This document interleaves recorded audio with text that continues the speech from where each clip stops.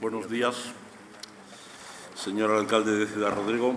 Qué ciudad tan bonita tienes, qué ciudad tan hermosa tenéis todos los mirobriguenses y tenemos todos los españoles, porque Ciudad Rodrigo es una ciudad que comparte su belleza. Qué suerte tengo yo de ser cercano a Ciudad Rodrigo y de venir en tantas ocasiones. Señor alcalde de Salices el Chico, don Francisco Javier, qué alegría sacar por fin adelante la,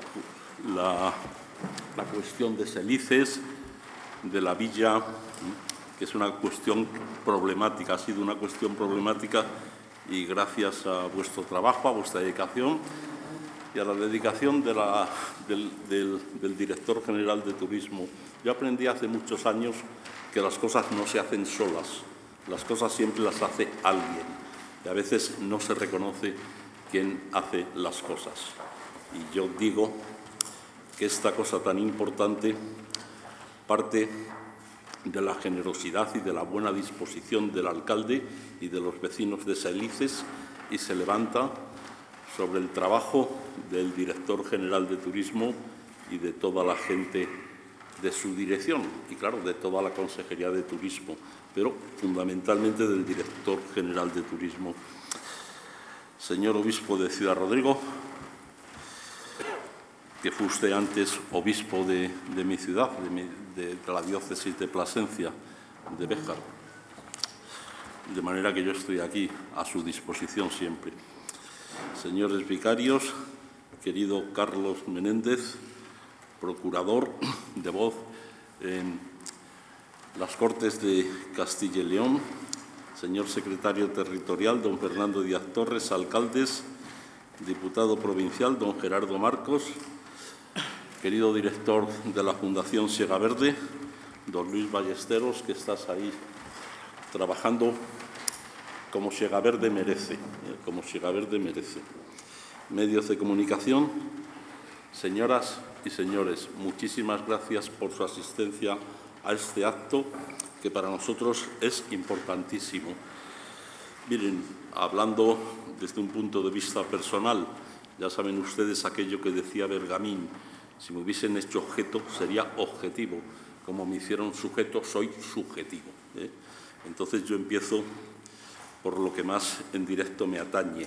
En el discurso de investidura que pronuncié en las Cortes hace ya casi dos años, dije que nuestra política turística tenía dos aspiraciones y se sustentaba en tres pilares. Los objetivos eran crear o fomentar destinos y crear o fomentar productos turísticos. Y nuestros pilares son el turismo patrimonial, la enogastronomía y el turismo de naturaleza. Yo decía que este acto para mí es muy importante, para todos es muy importante por muy distintas razones, para mí por todas, pero una que a mí me interesa mucho es porque estoy cumpliendo mi palabra porque estamos cumpliendo nuestra palabra. Y yo lo, he dicho continuamente, nosotros somos gente de palabra y todo lo que hemos dicho lo hemos cumplido o lo tenemos en fase de, cumplimiento. Y hoy presentamos aquí un resultado muy tangible de este anuncio, la parte del Plan Territorial de Sostenibilidad Turística de la Junta de Castilla y León que fortalecerá el destino que gira en torno a un bien patrimonio de la humanidad, que es Siega Verde, y que se desarrollará, que se enriquecerá con los apoyos que se desarrollarán en Ciudad Rodrigo y en Salices el Chico. A mí me dolía la situación de, de Verde, cuando saben ustedes que yo por razones familiares conozco muy bien el yacimiento de Siega Verde, y a mí me dolía la situación de Siega Verde. ¿eh? y ese dolor, pues vamos a acabar, vamos a acabar con él. Yo ya estoy absolutamente seguro de que vamos a acabar con él y lo que hoy anunciamos es el principio del fin consolidado. Ya habíamos puesto esto en marcha y en camino, pero ahora ya es la consolidación definitiva de acabar con esta situación. Las tres actuaciones inciden en la creación de un destino turístico, que es el turismo patrimonial. Ese es el eje de nuestra, de nuestra concepción eh, de la Consejería de Cultura. Nuestra gran potencia, la gran potencia de Castilla y León, es el patrimonio. El patrimonio, evidentemente, y el español. Somos la comunidad que más bienes patrimoniales tenemos, no ya en Europa, sino proporcionalmente en el mundo. Tienen más bienes patrimoniales la India o China, pero estamos hablando de unas poblaciones y de unas proporciones geográficas, geográficas muy diferentes. ¿eh? A que Verde está reconocido como un bien de esa categoría y nuestra política tiene que estar a la altura de ese, de reconocimiento. Miren, ahora mm, la Semana Santa saben ustedes que ha sido complicada por, por el tiempo y parece, digo parece porque nos faltan datos definitivos y a mí no me gusta hablar con imprecisión, por eso digo parece. Parece que la bajada de pernoctaciones, la bajada de, visitantes ha sido bastante menor en Castilla y León que en otras, que en el resto de las comunidades españolas. Eh, ¿Y esto por qué? Porque estamos desarrollando una política acertada. ha habido, no había procesiones, pero sí estaba abierto, por ejemplo, el Museo Nacional de Escultura ¿eh? o la Catedral de Salamanca, y parece que ahí ha habido muchas más, muchas más visitas. Es decir, Castilla y León somos el patrimonio y somos una comunidad que tenemos un patrimonio y un idioma absolutamente imbatibles.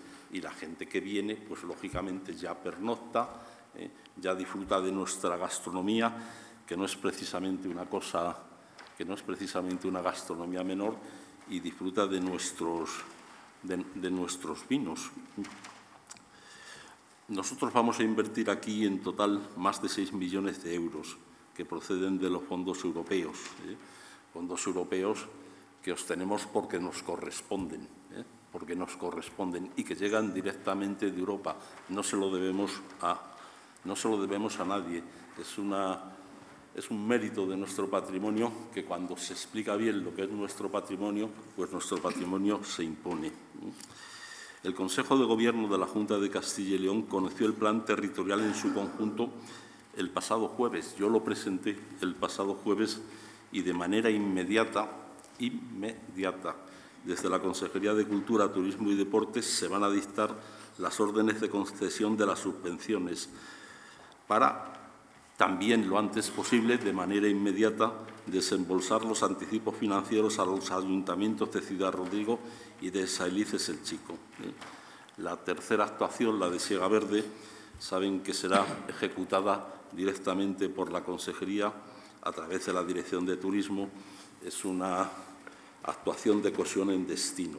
El plan territorial engloba 14 planes y dos actuaciones de cohesión en destino. Una, esta de Siega Verde, y otra la de Valpuesta, ¿eh?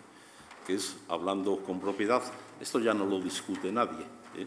nadie mínimamente informado lo discute, que los testimonios más antiguos, los testimonios escritos más venerables de, la lengua, de nuestras lenguas romances del castellano aparecen en el cartulario de Valpuesta. Y además esto es así y no porque no podía ser de otra manera. ¿eh? No podía ser de otra manera. Cuando se consultan, pasa que hay gente que no las consulta y habla sin conocimiento, las pizarras visigodas de Áviles Salamanca, que son de los siglos VI y VII, ahí te das cuenta de que el latín ya no es lo que fue. Es decir, de que ahí ya subyace una estructura romance. Ahí las pizarras visigodas, aunque escritas en latín, ya no tienen declinaciones y el orden lógico es el de la frase del castellano, sujeto, verbo, sujeto, verbo y predicado. Bueno, luego se produce la invasión de los árabes y el desmoronamiento del reino visigodo y los cristianos se refugian en, la cornisa cantábrica, en Asturias, eh, pero en cuanto empiezan a respirar, en cuanto empiezan a respirar y van avanzando y empiezan a crear instituciones, eh, pues empiezan a hacer anotaciones escritas. Eh. Y la institución de las instituciones es la Iglesia, porque además la Iglesia tenía una ventaja fundamental, ¿eh? es que un, escribano, un, funcionario del obispado de Valcuesta siempre tenía que dar cuentas a, alguien. Un señor feudal no, hacía y deshacía como, como, como tenía bien, no tenía que dar cuentas a nadie. Las cortes eran cortes itinerantes y producían muy pocos documentos por escrito, si es que producían alguno. ¿eh? Pero en la iglesia el hermano cillero, el despensero, siempre, siempre los de Ani, siempre tenían que dar cuentas a alguien. Entonces apuntaban todo, lo apuntaban meticulosamente todo. Y lógicamente, lógicamente, si Valpuesta es el primer obispado de Castela Bétula, de Castilla Vieja, eh, pues lógicamente ahí tenían que estar las anotaciones. Y en efecto, ahí, ahí están. Y estas van a ser nuestras dos, nuestras dos actuaciones de cohesión en destino, Siega Verde y Valpuesta. En total estamos hablando de una inversión de más de 30, de más de 30 millones de más de 30 millones de euros. Hablaba antes con el alcalde y el alcalde de Salices lo ha hablado mucho con el director general, que es que no podíamos dejar escapar esta, no podíamos dejar escapar esta oportunidad. Y había dificultades, pero se han, pero se han vencido. ¿Cómo se han vencido? Con inteligencia y con pasión. Como decía Unamuno, la pasión no quita inteligencia. La pasión no quita inteligencia en determinadas circunstancias incluso la da. Y tanto el alcalde como el director general están implicados en este asunto desde la inteligencia y con, pasión, y, se está sacando adelante. A través de los planes que hoy presentamos se podrán realizar pues, estas actuaciones que van a potenciar, yo creo que van a dar un impulso definitivo a esta zona de la provincia de Salamanca. Por ejemplo, con el Plan Ciudad Rodrigo Destino Turístico de Referencia, se realizará una intervención en el río Águeda para integrarlo en el entorno monumental del municipio, creando una ruta de cicloturismo y senderismo y se harán mejoras en la Plaza del Castillo para su uso turístico. El plan creación del Parque Arqueológico de la Villa Romana de Salices Chico acometerá una rehabilitación sostenible.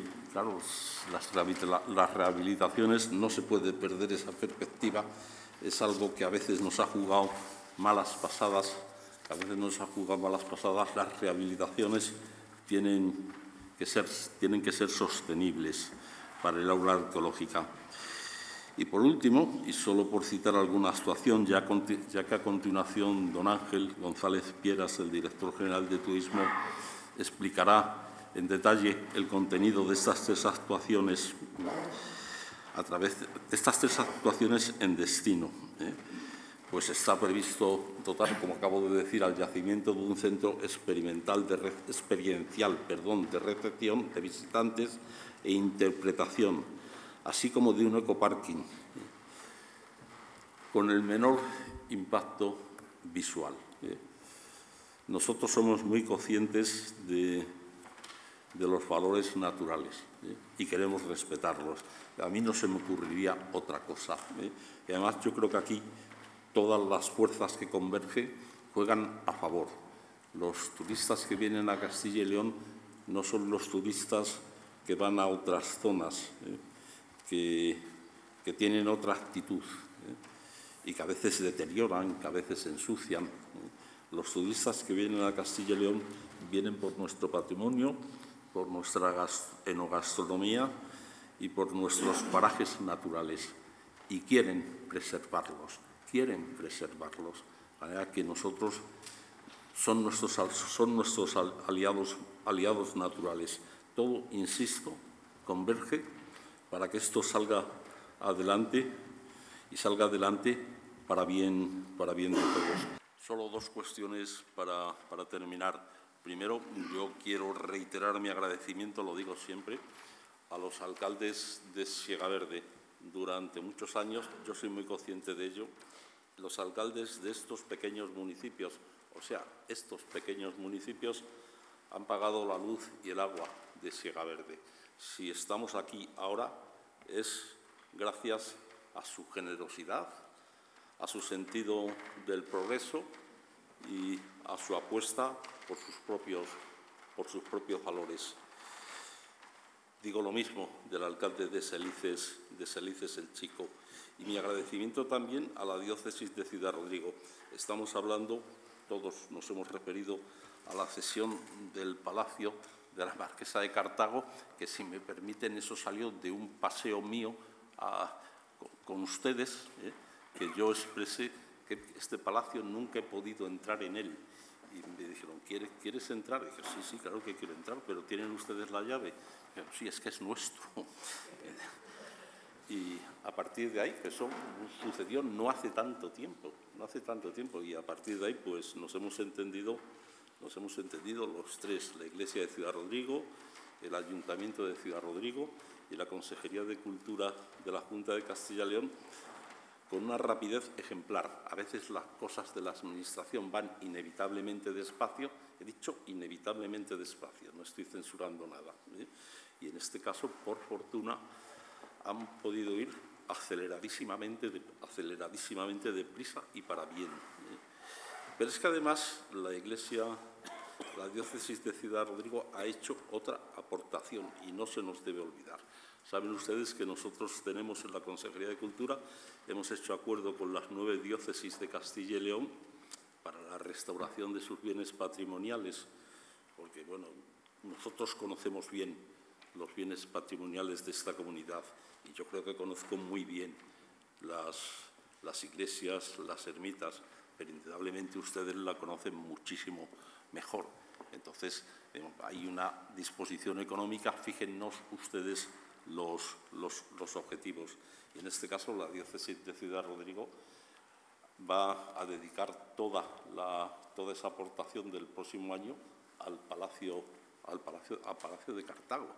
Es decir, no solo nos han cedido al Ayuntamiento de Ciudad Rodrigo durante 75 años, que es el máximo posible. 75 años, ¿por qué? Porque no se puede ceder por 100. 75 años es el máximo posible, pero es que además hacen esta aportación económica muy, muy, muy, muy importante. A partir de estos agradecimientos, ¿eh? pues yo termino ya diciéndoles que no, no duden ustedes, señores alcaldes, no duden ustedes, que no duden los ciudadanos, los aquí presentes y los que no estando presentes se van a enterar de este acto, que son, todos. ¿eh? No duden ustedes de que nosotros, la Consejería de Cultura, Turismo y Deporte de Castilla y León, la Dirección General de Turismo, la Dirección General de Patrimonio, ciertamente Juan Carlos no puede estar aquí, Juan Carlos Prieto Bielba, porque tenemos otras cuestiones inaplazables en la consejería, pero no duden ustedes que todos nosotros, no duden que todos nosotros vamos a estar con ustedes a través de las comisiones de seguimientos, que vamos a estar con ustedes para que esta travesía que hoy iniciamos llegue a, a buen puerto. Y se lo dije al comienzo, nosotros somos gente de palabra, somos de aquí, estamos aquí y vamos a estar siempre con ustedes. Muchas gracias.